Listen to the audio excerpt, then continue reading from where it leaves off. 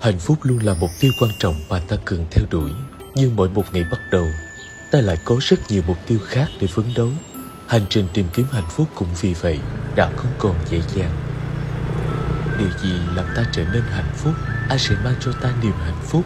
Và giữa những bụng bề này, khoảnh khắc nào sẽ cho ta biết hạnh phúc đã tìm đến với chính bản thân mình?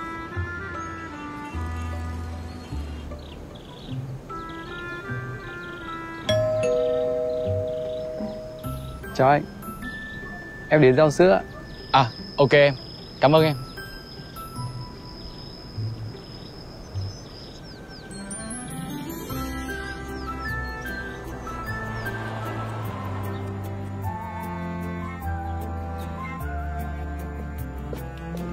Ai vậy anh?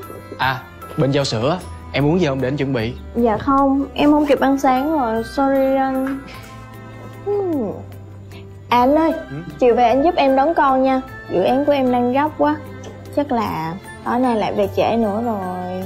Tối nay em không về ăn cơm hả? Chắc không anh ơi. Em đang bị deadline dí quá. Em cần tập trung làm cho xong á. Anh đừng giận em nha. Nốt hôm nay thôi đó. Ngày mai em phải ráng sắp xếp Ở bên cạnh con với anh nha. Sinh nhật của em mà. Em nhớ rồi Phúc. Ở nhà phải nghe lời ba nha con. Nhớ ăn uống cho đầy đủ đó. Rồi tối về mẹ kể chuyện cho nghe Nha. Dạ mẹ. Khoan, mẹ đi nha. Em. Cầm hộp sữa Mang theo mà uống.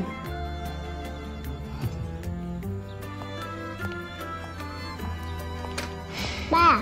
Hử? Hừm, Phúc ngoan. Bây giờ á, con kêu bạn bò sữa Ăn sáng luôn phần mẹ phụ ba nha. Dạ ba. Ừ. Đi. Rồi Phúc lên đây. Ây chà. Ừm.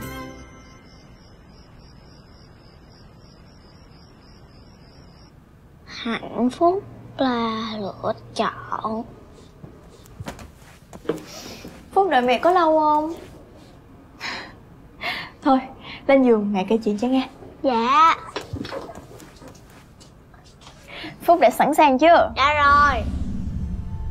Ngày nãy ngày nay Ở một trang trại rộng lớn nọ Có những chú bò sữa sống bên nhau rất hạnh phúc. Mỗi ngày các chú được chăn thả Và cho ăn cỏ tự nhiên Để ra dòng sữa thơm ngon. Ủa mẹ Sao những chú bò bị dắt sữa Vậy sao hạnh phúc được?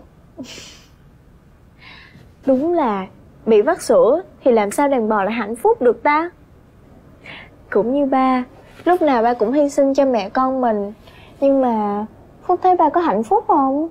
Dạ có Ừ, khi ba chọn yêu thương và quan tâm tới mẹ con mình thì đó không phải là sự hy sinh, đó là hạnh phúc tự nguyện. Vậy thôi, cũng đã làm ba thấy hạnh phúc rồi con. À, các chú bò cũng vậy nè. Các chú lúc nào cũng hạnh phúc vì đã mang được dòng sữa yêu thương của mình đến với các cô cậu bé dễ thương và biết quan tâm người khác như con vậy. đi.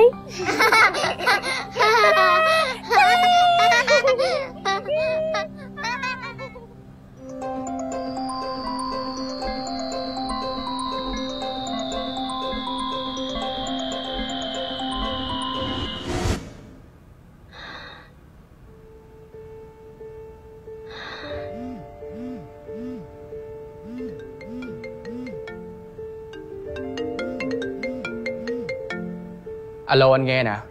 Anh gọi cho em nhiều vậy? À, em xin lỗi anh, công việc quá nhiều thứ phát sinh luôn nên là bây giờ em mới xong. Hôm qua em đã hứa với con và anh rồi mà. Em xin lỗi, em cũng đâu có muốn vậy đâu. Nhưng mà em không thể bỏ tim mà về nhà vậy được. Mà anh với con ăn gì chưa? Chưa. Em anh, Trời ơi, sao anh không ăn đi? Anh làm vậy không tốt cho con đâu á Con đang tuổi ăn tuổi lớn Anh đâu thể nào bắt con vì em mà nhịn đói vậy được. Anh với con cứ ăn trước đi nha Xong việc em về liền nha. Anh Em bị sao vậy? Anh là đàn ông mà Sao sự hy sinh của anh như vậy Mà em lại trách móc anh là không biết nghĩ cho con? Là anh không biết nghĩ cho con Hay là em không biết nghĩ cho anh hả?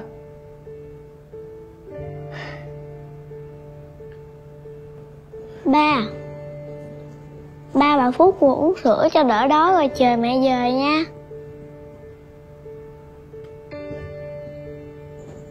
Hôm qua mẹ có ý Phúc là lúc nào ba cũng hạnh phúc, bởi vì ba chọn yêu thương Phúc và mẹ mà.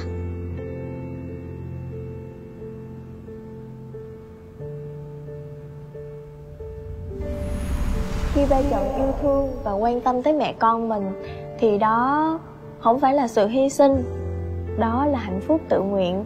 Vậy thôi cũng đã làm ba thấy hạnh phúc rồi con. Mẹ và Phúc luôn thấy hạnh phúc vì có ba Cho nên ba đừng có buồn nữa nha. Ừ. Hạnh phúc là lựa chọn.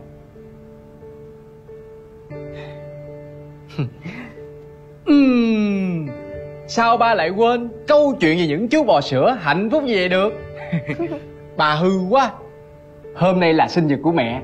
Cả nhà mình phải vui lên chứ. Dạ.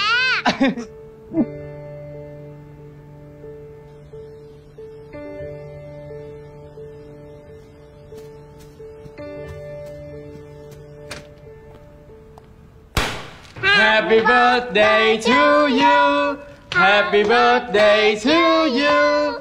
Happy birthday, happy birthday, happy birthday to you Chúc mừng sinh nhật em.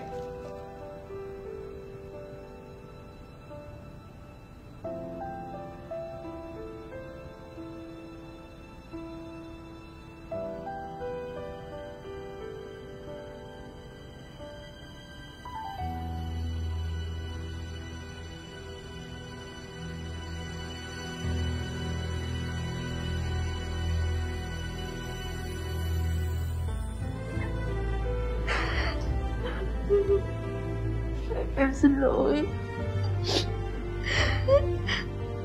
Em xin lỗi, anh và con nhiều lắm. Không ngày hôm cũng để anh và con phải đợi em.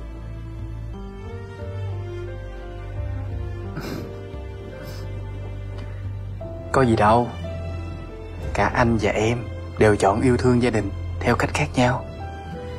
Miễn sao gia đình mình hạnh phúc là được. Thôi, Hôm nay sinh nhật của em. Phải vui lên chứ.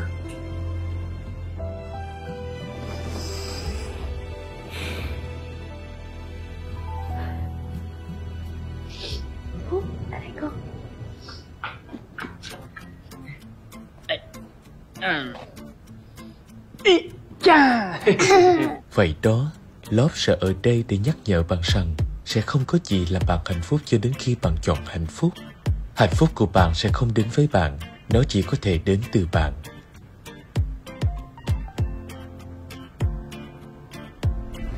Sự tiệt trùng lớp nguồn dinh dưỡng không thể thiếu trong một cuộc sống hạnh phúc, được sản xuất từ nguồn sữa tươi Úc đã qua xử lý, bảo quản bởi công nghệ Frozen Fresh, hoàn toàn không dùng sữa bột, hoàn toàn từ bỏ ăn cỏ chăn thả tự nhiên.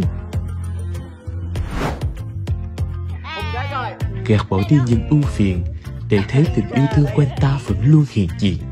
Trung thu năm nay, lớp chúc mọi người sẽ luôn có những giây phút đoàn viên vô cùng bình yên bên cạnh những người thân yêu của cuộc đời. Chọn lớp, chọn yêu thương, chọn hạnh phúc.